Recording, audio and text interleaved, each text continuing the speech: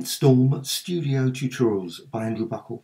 In this tutorial I'm going to show you the seamless tile mode and you can use that to create some very interesting pattern designs. Also you can export them to Photoshop and other applications.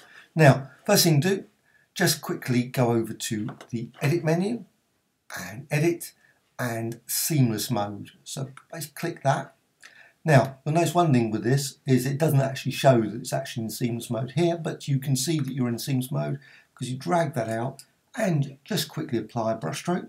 Now, I'm going to set the colour there and then just drag and you can see now that you're actually creating a seamless pattern design. So you can see the, the same design over here. You can just continue doing that.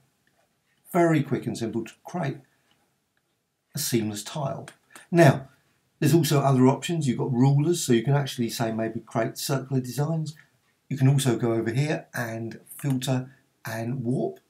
That's quite a nice one. You can actually go into the warp, just say OK to that, and just warp the design so you can actually just modify that design. If I actually zoom out, you can actually see the key thing here, if you're going to use the warp, is to use pin edges. So you can avoid just going too close to it. Otherwise, if you do go over the edge, the seamless design is actually lost. So, but you can actually warp it, modify it and do things and then click OK, come out of that and you've still got your seamless tile there.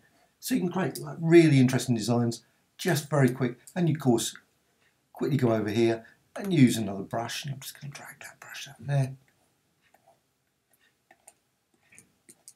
And go that way.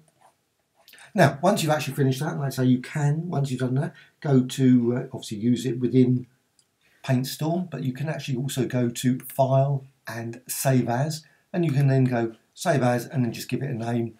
And the weird thing about that, it doesn't actually offer any options, but you can actually save it to like a PNG file. So just say 2.png, that sort of thing.